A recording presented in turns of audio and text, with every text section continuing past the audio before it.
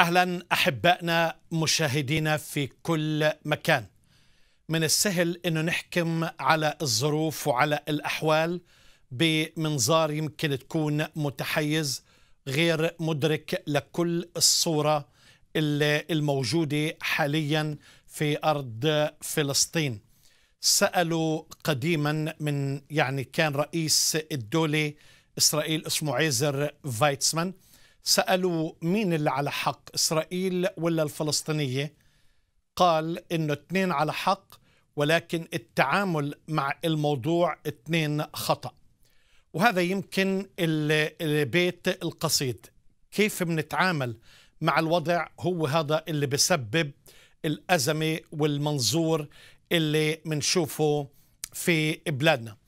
على كل حال أحبائي الكراهية مرض خطير جدا ومرض معدي جدا.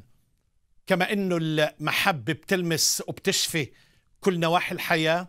الكراهية أيضا بتلمس أيضا بتتفشى في كل نواحي الحياة. فالكراهية مثل ما ذكرت هي مرض خطير وعضال.